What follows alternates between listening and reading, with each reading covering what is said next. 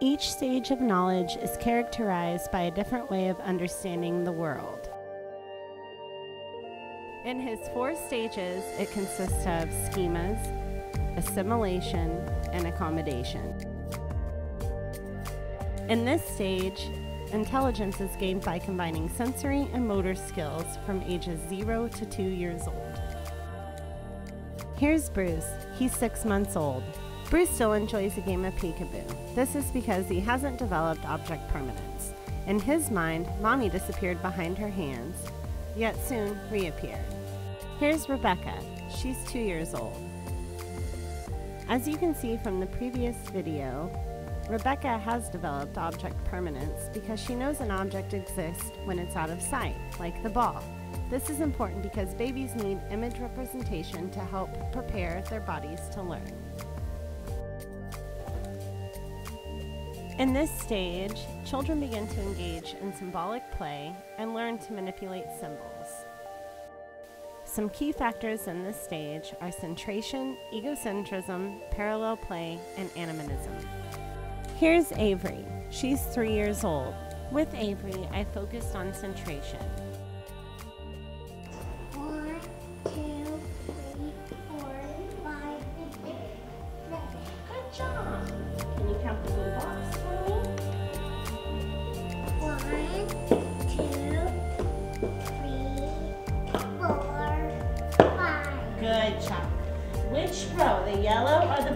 Have more blocks?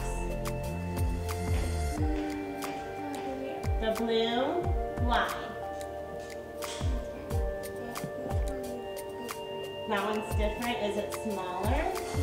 And which one's longer? Which row is longer? That one's smaller. Avery was unsuccessful at distinguishing length from number at the same time. This is a lack of centration because she believed the row of five blue blocks was longer than the row of seven yellow blocks. Here's Mark. He's five years old. I performed the same centration block test on Mark. Which row has more blocks in it? The yellow? He passed, proving that he can focus on length and number at the same time.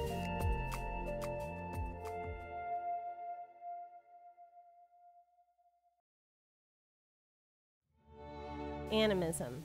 This is the belief that inanimate objects, such as toys, dolls, stuffed animals, have human feelings and intentions.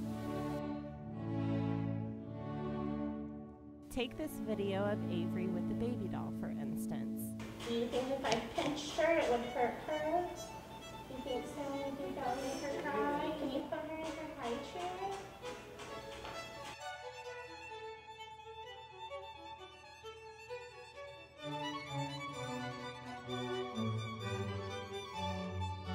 If I pinch this baby, is she gonna cry? Do you think if I spank her, she is gonna cry? What about this pony? Do you think if I pinched her ear, she would cry? No, she's not a, she's not a baby. She's not a baby.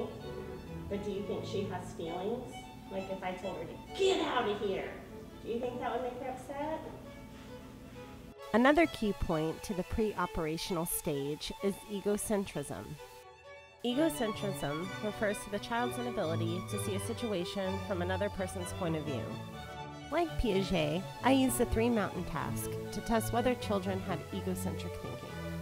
Here is Mark at five years old and Avery at three, taking the three mountain task. On that side of the mountains, what do you see in the grass?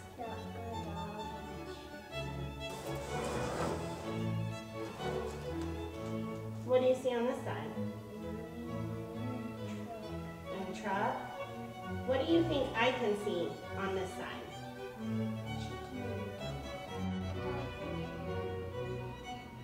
What's that? A, ch- a chicken. What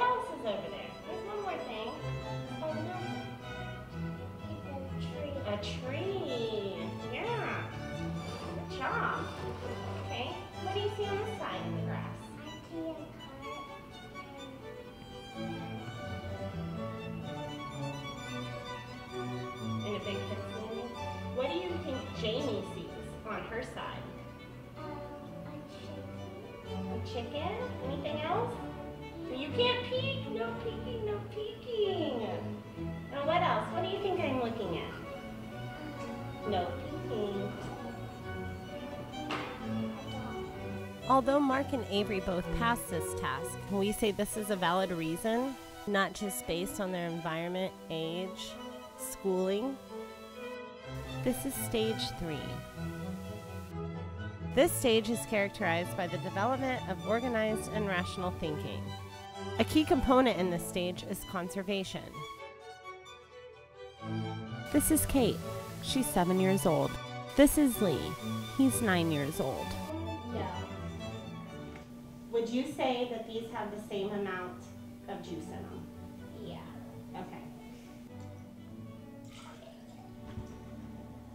Now, would you say that they still have the same amount of juice, or would you say that this one has more or this one has more? They both have the same. Why? It's because it used to be in that cup, but you poured in that cup, and when you do it that cup, it was the same with that one. If you poured it there, Good job. and now it's way thinner. You are so smart. Would you say the amount of liquid in these two cups are about the same or different? I would say they're about the same. Yeah. Okay. Would you say that this one has more or this one has Same. more? Same? Yeah. Okay. I already learned about that. You did? Yeah. Although Mark is not in the concrete operational stage, I decided to test him on conservation. Are these the same or different? Same. The same?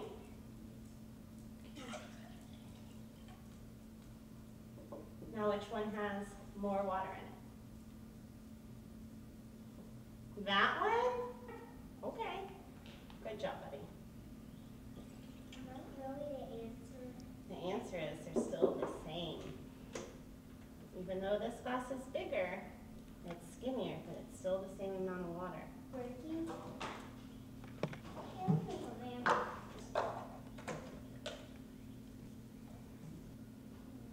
Yeah? Okay. that one's bigger. All right, well, what about now? Who has more Play-Doh? Me or you? Me. You do? Are you sure? Okay. Good job. Another key point of the concrete operational stage is classification. This is where we are able to group objects and dimensions that they share. Okay, Kate. There's some objects here. I want you to sort them out mhm, based on their similarities. You know what a similarity is? Yes.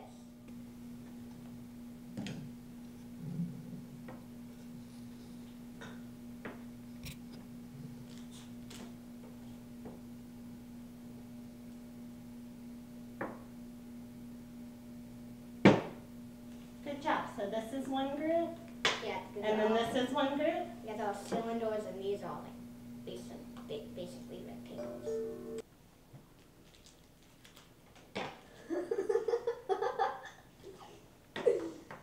Awesome. So why'd you put all these together? Because they're cylinders. Since they're all um, rectangular prisms. Good job, buddy. All right, that's it. You're Let's do some more. Although Lee and Kate succeeded with flying colors, I wondered what it would be like to test them in the second stage with animism. Do you think if I pinched her cheeks, she would cry out loud? Yeah. You do? Mm, no, not Do you really. I think thought that- she would like whine a little bit, not cry. Do you think if I said, get out of here, baby, that it would hurt her feelings? yeah, you think so? Do you think she gets hungry? yes. Yeah. Okay. You want to hold her? Kate still shows signs of the pre operational stage when dealing with this key point. However, Lee passed. You like my baby? or no, no, no, she's fake. Well, she is fake. So if I pinch her really hard, if I'm mad at her, you think she'll cry? You think I'll hurt her feelings? no. What if I told her, get out of here, baby, you ugly? You think that'll hurt her feelings? No, she's a toy. So she doesn't have any feelings. Yeah, like a fish. Like a fish. Do you think if I yelled at him and was really mean to him, it would hurt his feelings? um, yeah, yeah.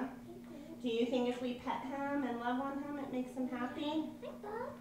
Why do you think that? Because he's a living thing. Very good. He's living. He is not a flower. What if I pinched his nose really hard? He will, he will have feelings. Do you think that would hurt his feelings? Yeah. Some stuff that I can do to make him happy? Like what?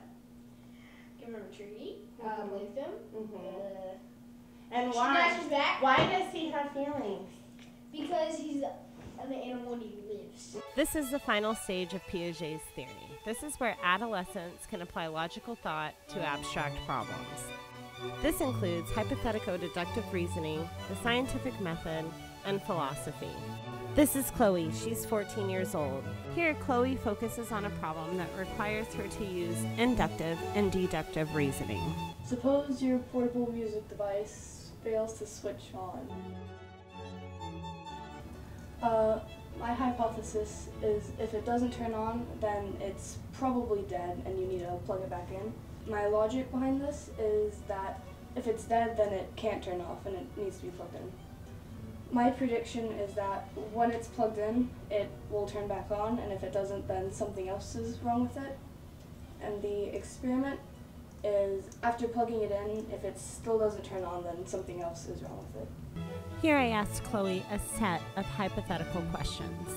What do you think it would be like if people were born with no thumbs? Uh, it would be a lot harder to like grab things and do stuff because you couldn't really function without your thumbs. It would just be for awkward. What do you think that what do you think that would do to the world? Uh, we would probably be a lot less advanced as a society and stuff because we wouldn't have all of the advancements that we have, and we wouldn't be able to do as many things. If you had a third eye, where would you put it on your body and why? Uh, I would put it on my hand, somewhere around my hand, because then I could just kind of point it anywhere I wanted and see anywhere. If people could breathe underwater, what do you think the world would be like? Uh, there would be a lot more humans because, like, they could live in a lot more places than just on land. For research purposes, I asked the same questions to different children in different stages. What do you think it would be like if people had no thumbs? They, they will break it off. Okay. What do you think it would be like if we had no thumbs? Then you would. Then the whole world wouldn't have thumbs. Yeah. What else? That's it? You can do more questions if you want. What do you think it would be like if we had no thumbs? Very hard to pick up stuff. Yeah. Because one time I watched this video, No Thumbs Challenge, and they had to duct tape their thumbs, and it was really hard to do things. So. Yeah. That makes sense. What do you think it would be like if we had no thumbs? it would be harder to pick up stuff and you wouldn't be as talented like let's say for example in base in baseball you may you kind of um, hit the balls well and and in in writing your handwriting might need might not be as neat Is that it? yeah What do you think the world would be like if we could breathe underwater Um, uh, with the sunshine. with the sunshine? Uh-huh. Okay, Marky.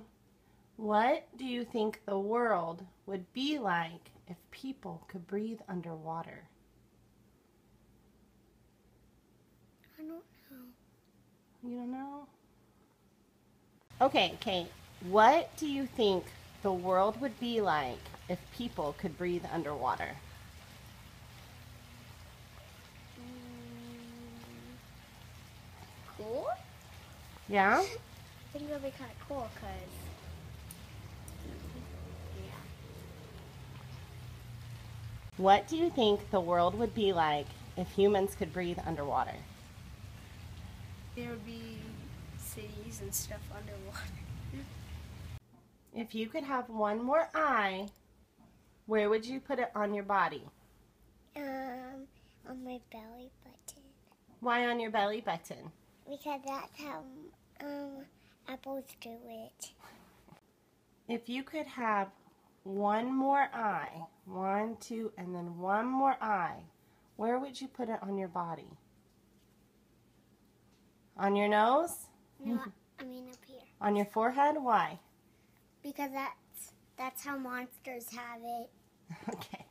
If you could have a third eye, where would you put it? On my forehead. Why? Because I feel like that's just a good place to put it.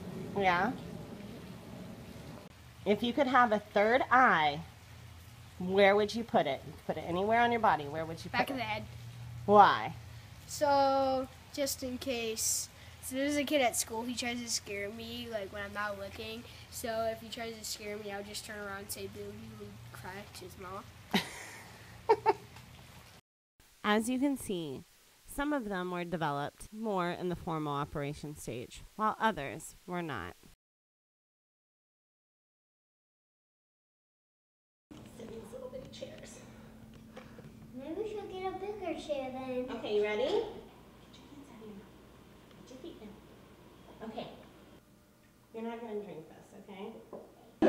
Cute. Hold on, not yet. We'll say go, okay? Oh, very good. I know. good job, buddy. I know that. You are advanced. I'm too good at that. You go one now. Okay.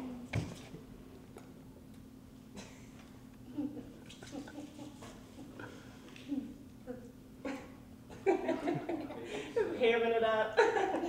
All right. Good job, sissy. Good job. Whoa. Try again. Try again.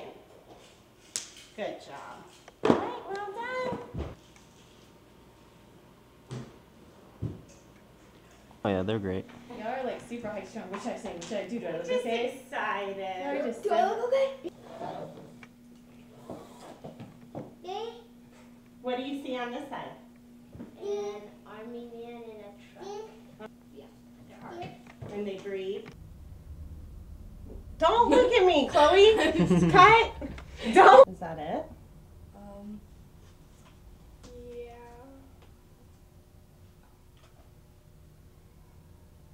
Oh my gosh, Chloe.